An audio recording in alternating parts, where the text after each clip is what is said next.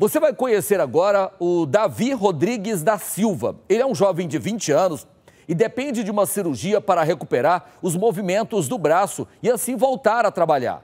O problema é que a espera já dura um ano e nada da cirurgia dele sair. A Camila Rodrigues conta agora para você. David tem 20 anos, é um jovem sonhador que há mais de um ano teve a vida virada do avesso. Após um acidente de trânsito, ele fraturou a clavícula e perdeu o movimento do braço esquerdo.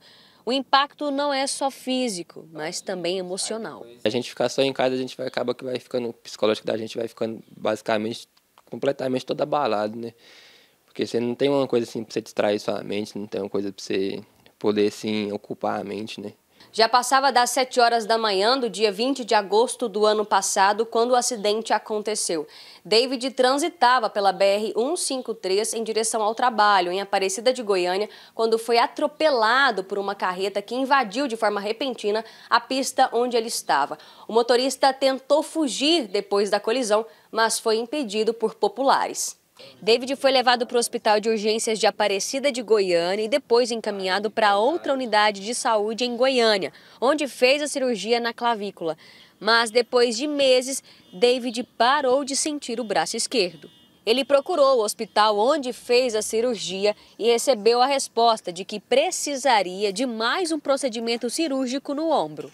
Eu falei para ele, doutor, estranho que não tá certo, não. Tem mais de três meses já que eu tô com o braço desse jeito e nunca sarei, não gesticulo, não gesticulo meu braço, não, meu braço não sobe tudo mais. Aí foi onde ele falou que eu tinha que fazer outra cirurgia. Ele avaliou o quê? Aí ele falou assim que era que, uma, tipo, tipo uma lesão no músculo, né? Aí foi onde ele falou que eu precisava fazer uma cirurgia de lesão do músculo da clavícula. Desde então, ele tem peregrinado entre Goiânia, Aparecida e Goianira, onde ele mora, atrás dessa cirurgia. Aí eu voltei lá, né, depois, aí agora que entraram, entrou uma médica nova aí, aí foi que ela falou que precisava passar por um ortopedista para ele me avaliar para poder me encaminhar para a cirurgia, né. Aí foi onde também entrei na fila de espera de novo por ortopedista.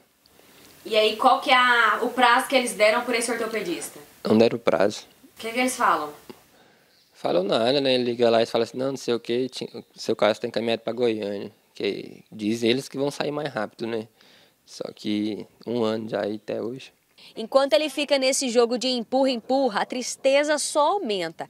É um pedido de socorro para um jovem que só quer voltar a ter uma vida normal. Meu desejo agora é fazer a cirurgia, me recuperar e voltar a trabalhar, né? Para ter, poder ter uma vida digna, uma vida de trabalhador, né? Honestamente.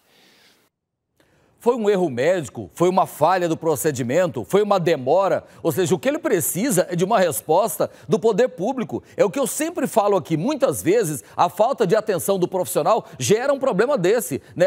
É, faz uma cirurgia como se fosse uma pessoa qualquer, esquecendo que tem pai, que tem mãe, que tem sentimento, que tem profissão, que é um ser humano acima de tudo. Nós procuramos a Secretaria Municipal de Saúde de Goiânia e questionamos né, sobre a demora na regulação da consulta com o ortopedista ortopedista para o David. A secretaria disse que vai encaminhar a autorização de internação hospitalar para o hospital e, em seguida, vão chamar o David para avaliação e realização do procedimento necessário. Se isso não acontecer, David, pode voltar a nos procurar aqui no Balanço Geral, que a gente vai continuar lutando para que você tenha atendimento decente junto ao Sistema Único de Saúde. Repito, dinheiro tem demais o SUS. O problema é que é muito mal empregado e mal administrado.